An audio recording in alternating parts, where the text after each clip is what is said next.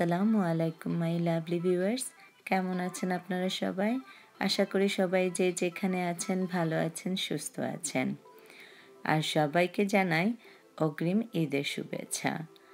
আর আজকে আমি নিয়ে আসছি ঈদ স্পেশাল দুইটি রেসিপি। তো দেখতে থাকুন, প্রথমে আমি দেখাবো পাম্পকিন রোল বানানো। এই পাম্পকিন রোলটা খেতে খুবই মজাদার। আর এই পাম্পকিন রোলটা ছাড়া যেন আমার ছেলেদের ঈদের শুরুই হয় না। তো এটা বানানোর জন্য লাগছে দুই চা চামচ সিনামন পাউডার দুই চা চামচ বেকিং পাউডার দুই কাপ পাম্পকিন ছয়টা ডিম, ময়দা ওয়ান অ্যান্ড হাফ কাপ চিনি দুই কাপ। তাহলে চলুন শুরু করা যাক। তো আমি এখানে যে পামকিন ক্যানটা ইউজ করছি সেটা দেখিয়ে নিচ্ছি। আপনারা চাইলে মিষ্টি কদুকে একটু সিদ্ধ করে ব্লেন্ডার করে নিয়েও ইউজ করতে পারবেন। তো এখানে প্রথমে আমি এগগুলোকে ভালোভাবে বিট করে নিব।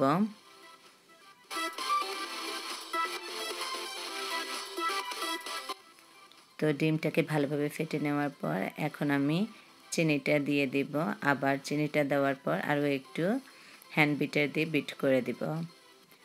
তারপর আমি অ্যাড করব সিনামন পাউডার সিনামন পাউডারটা হচ্ছে আমাদের দেশে দারচিনি যেটা, সেটাকে গুঁড়ো করে ইউজ করা হয়। আর হচ্ছে বেকিং পাউডারটা দিয়ে দিব এখানে। তারপরে এটাকে ভালোভাবে মিক্স করে ফেলব। এখন আমি পামকিনটা দিয়ে দিব।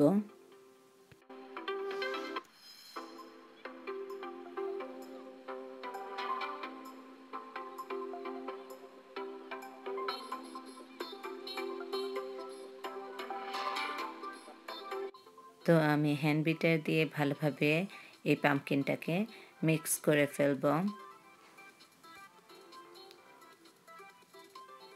এরপর আস্তে আস্তে একটু একটু করে ময়দাটা মিশিয়ে দিব এই মিক্সচারের সাথে। আপনারা এখানে দেখতে পাচ্ছেন, আমি একটু ময়দা দিয়েছি প্রথমে। একসাথে দিলে আসলে দলা পেকে যাবে, সেজন্য। তারপর এটাকে ভালোভাবে একটু একটু করে দিয়ে মিক্স করে ফেলতে হবে।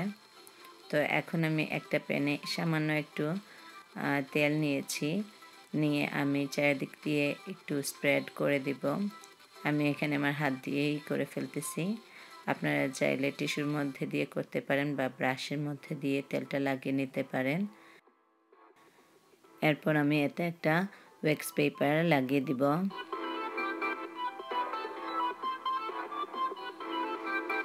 তো আমি এখানে দুইটা, তিনটা করতেছি এই পামকিন রোল কারণ আমার বাচ্চাদের খুবই পছন্দ। আর এই মিক্সচারটা দিয়ে দুইটা পামকিন রোল বানানো যাবে। আর একটা টিপস বলে দিই এখানে প্রায় সময় দেখা যায় পামকিন রোলটা ফেটে যায়।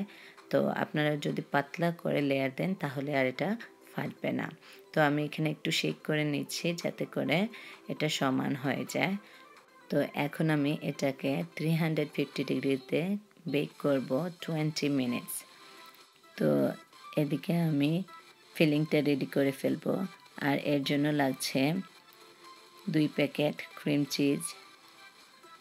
বাটার বা ঘি লাগবে টু স্পুন আর লাগবে পাউডার চিনি দুই cup vanilla essence two spoon তো এখন আমি ক্রিম চিজটাকে হ্যান্ড বিটার দিয়ে বিট করে নিব। প্রথমে একটু শক্ত লাগবে, কিন্তু আস্তে আস্তে এটা নরম হয়ে যাবে। তো এখন আমি ভ্যানিলা এসেন্সটা দিয়ে দিব। এরপর আমি আবারও হ্যান্ড পিটার দিয়ে একটু বিট করে নিব।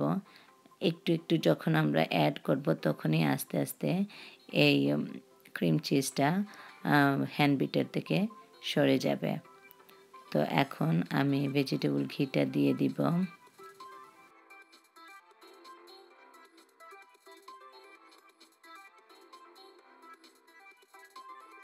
তো এখন আবার বিট করে নিব। অ্যাড করে দিচ্ছি পাউডার চিনি।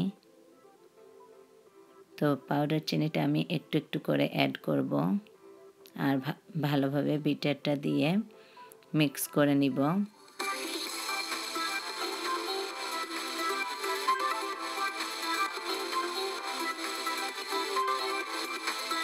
তো এখন আপনারা দেখতে পাচ্ছেন যে হ্যান্ড বিটার থেকে ক্রিম চিজটা সরে গেছে।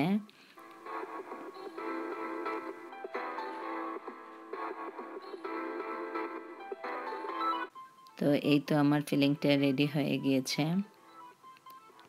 এদিকে আমার কেকটাও হয়ে গিয়েছে। এখন আমি একটা কিচেন টাওয়াল ঠান্ডা পানি দিয়ে ধুয়ে চিপে নিয়েছি। তারপর ধুই ভাজ করে এই কেকের উপরে দিয়ে সুন্দর করে এটাকে স্মুথ করে নিয়েছি। আপনারা এখানে দেখতে পাচ্ছেন আমি কীভাবে করছি। তো এটা করার কারণ হলো আমরা এই কেকটাকে উল্টে দিব এই কাপড়টার উপরে, টাওয়ালটার উপরে। তো এই তো আমি দেখছেন কীভাবে উল্টে দিয়েছি। এখন আমি আস্তে আস্তে করে ওয়েক্স পেপারটা উঠিয়ে ফেলব। কেক থেকে কিচেন টাওয়ালটা একটু বেশি থাকবে, কারণ এটা আমরা ইউজ করব এটাকে রুল করার জন্য। তো এই যে আপনারা দেখতে পাচ্ছেন, আমি কীভাবে এটাকে আস্তে আস্তে করে সরাচ্ছি।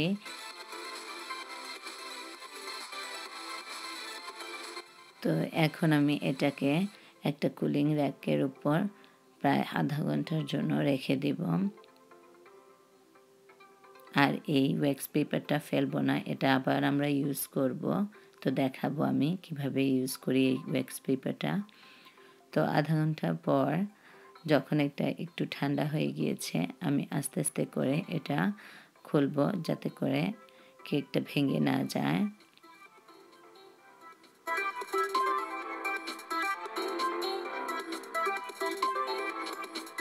তো এখন আমি ক্রিম চিজের যে ফিলিংটা বানিয়েছি, সেটা এটার মধ্যে দিয়ে দিব, স্প্রেড করে দিব।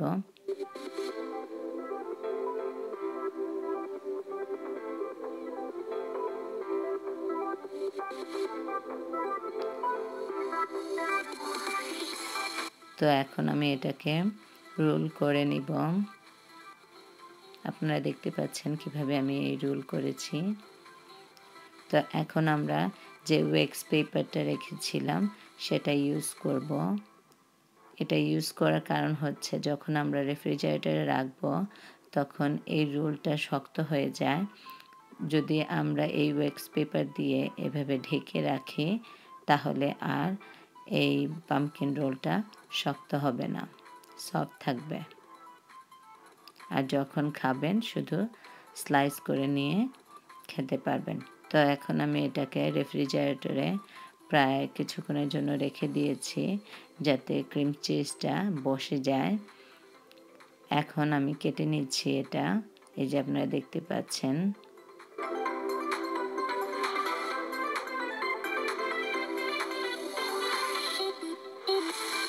তো এই তো হয়ে গেল আমার পামকিন রোল এটা খুবই মজাদার। আশা করি আপনারা বাসা ট্রাই করে দেখবেন, দেখতে লোভনীয়। আর এতই মজাদার যে আমরা একটা কখনো পিস খেয়ে বসে থাকি না, আরেকটা আমাদের লাগবেই লাগবে। তো এখন আমি আপনাদেরকে দেখাবো কীভাবে এই মিষ্টি দইটা আমি বানাই রাইস কুকারে তো এর জন্য লাগবে তিন কাপ পানি। তো তিন কাপ পানির মধ্যে আমি গুঁড়ো দুধ নিয়ে নিয়েছি। এক কাপ। তো এটা চুলাতেই করতে হবে। গরম পানির মধ্যে আমি গুঁড়ো দুধটা ঢেলে দিব। আরও একটি প্যানে আমি ক্যারামেল তৈরি করে নিব। আর এর জন্য আমি নিব ওয়ান ফোর্থ কাপ অফ চিনি। আর নিব তিন টেবিল চামচ পানি। এরপর আমরা একটু ওয়েট করব। এই ক্যারামেলটা যাতে সুন্দর একটা কালার এসে যায়। আমরা বেশি নাড়াচাড়া করব না, কারণ দেখা যায় চামচের মধ্যে লেগে যায়। তো জাস্ট ফ্রাই প্যানটাকে এভাবে একটু শেক করে নিলেই হবে। যখন একটু একটু করে হয়ে আসবে, তখন চারদিক থেকে শুধু মাঝখানে নিয়ে এসে দিলেই হবে। তো এই তো আমার ক্যারামেলটা হয়ে যাচ্ছে। এখন আমি গরম যে দুধটা আছে সেখান থেকে একটু সামান্য দুধ নিয়ে এই ক্যারামেলের মধ্যে দিয়ে দিব।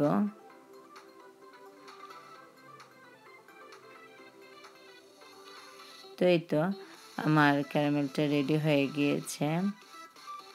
এখন আমি যে দুধটা গরম করছি, তো একবার যখন এটার মধ্যে বলক আসবে তখন আমি চিনিটা দিয়ে দিব।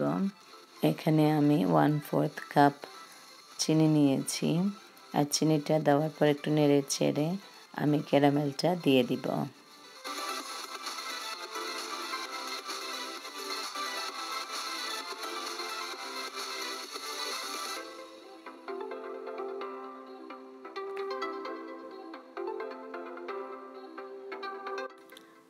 তো ক্যারামেলটাকে একটা উইক্স দিয়ে এই দুধের সাথে ভালোভাবে মিক্স করে দিব। এরপর আমি এই চোলাটা এক মিনিট পর টার্ন অফ করে দিব। তো আমি একটু ওয়েট করব যাতে দুধটা একটু ঠান্ডা হয়ে আসে। যখন দেখব আমার আঙ্গুল একটা এই দুধের মধ্যে চুবতে পারছি, ততক্ষণ পর্যন্তই আমরা ওয়েট করব এই দুধটা ঠান্ডা হওয়ার জন্য। তো এখানে আমি হাফ কাপ প্লেন ইয়োগাট নিয়ে এটাকে পানি ছাড়িয়ে নিয়েছি। আধা ঘণ্টার জন্য আমি ওয়েট করেছি যাতে পানিটা পড়ে যায়। তারপর এটাকে আমি একটু হ্যান্ড বিটার দিয়ে বিট করে নিয়েছি। এরপর আমি আস্তে আস্তে যে দুধটা রেডি করেছিলাম সেটার মিক্সচারটা ঢেলে দিয়েছি।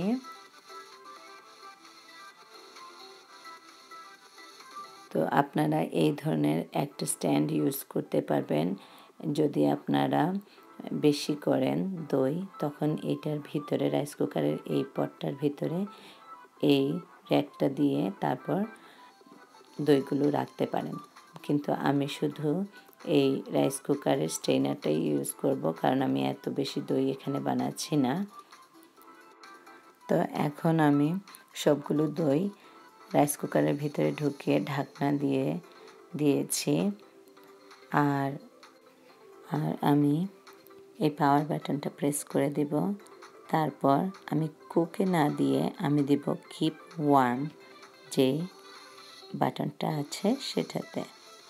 তো রাইস কুকারে আমি এটাকে দুই ঘণ্টা ওয়ার্মে রাখব। তারপর এক ঘণ্টা আমি প্লাগ খুলে জাস্ট এই লিডটাকে লাগিয়ে রাখব। তো তিন ঘণ্টা পর এই যে দেখুন কি সুন্দর লাগছে। আমার দইটা হয়ে গিয়েছে।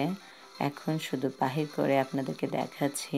এটাকে যদি আপসাইড ডাউন করে ফেলেন, তারপরও এটা পড়বে না। তো অনেকেরই দেখা যায় যে দই তাদের সুন্দর হয়ে ওঠে না। তাদের দইটা ভালোভাবে বসে না। তো এভাবে যদি এই রেসিপিটা ফলো করেন, আমি শিওর আছি আপনাদের ভালো লাগবে আর আপনাদের দইয়ের জন্য কোনো চিন্তা করতে হবে না। দইটা এমনিতেই বসে যাবে। তো আপনারা দেখতে পাচ্ছেন কি সুন্দর লাগছে এখানে। তো যাই হোক রাইস কুকার থেকে বাহির করার পর আমি কিন্তু এটাকে রেফ্রিজারেটরে রেখে দিয়েছি কয়েক ঘণ্টার জন্য। তো তৈরি হয়ে গেল আমার এই মজাদার মিষ্টি দই।